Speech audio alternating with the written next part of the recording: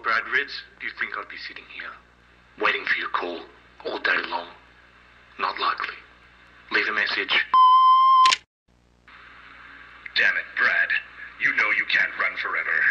You need to tell them about Crystal Clarity drums. I don't care what it takes. Do what you have to do.